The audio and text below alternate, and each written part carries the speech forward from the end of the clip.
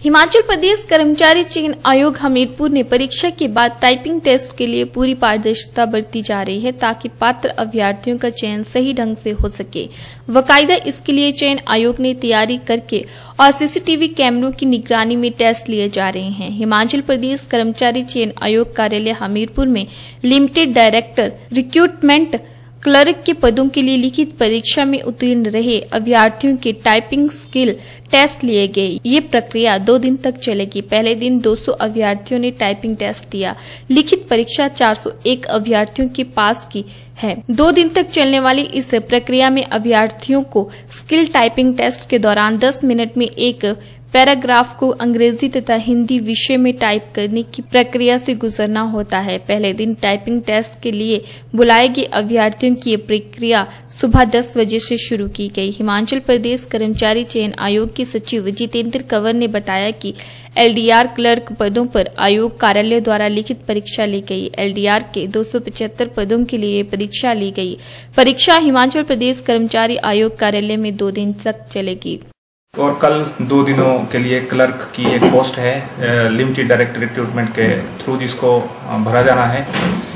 इसमें 401 अभ्यर्थी जो है दो दिनों के लिए 200 और 201 के दो दिनों में जो है टाइपिंग टेस्ट के लिए अलग अलग ग्रुप्स में बैठेंगे। और हमारा ये जो टेस्ट है, स्किल टेस्ट, टाइपिंग टेस्ट, ये कंप्यूटर लेबोरेटरी में किया जाता है यहाँ पर। और इस टेस्ट के लिए 10 मिनट दिए जाते हैं। ज़्यादातर अधिकतर जो अभ्यर्थी हैं हमारे, वो इंग्लिश मीडियम में टाइप करते हैं।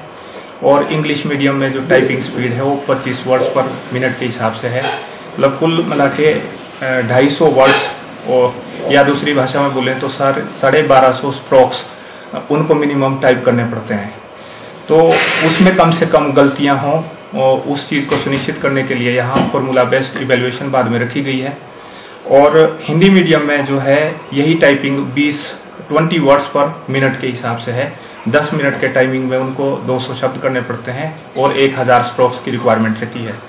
तो ये दो दिनों तक ये स्किल टेस्ट चलेगा और ये skill test under CCTV surveillance जो है, हम यहाँ पे करते हैं।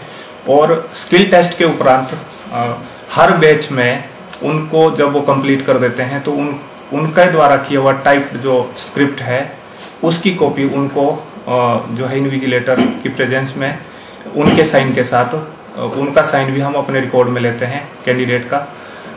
उनको हैंड ओवर कर दी जाती है ताकि पूरी पारदर्शिता इसमें कुल जो है दो सौ पचहत्तर पोस्ट हैं, जिसके लिए रिक्रूटमेंट प्रोसेस चल रहा है।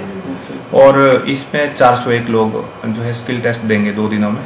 और उसके बाद रिज़ल्ट के लिए जो है उसके लिए प्रोसेसिंग कर दी जाएगी।